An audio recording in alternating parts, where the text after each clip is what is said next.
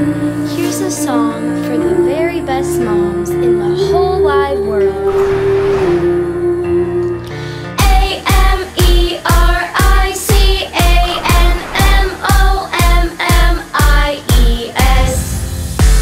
America.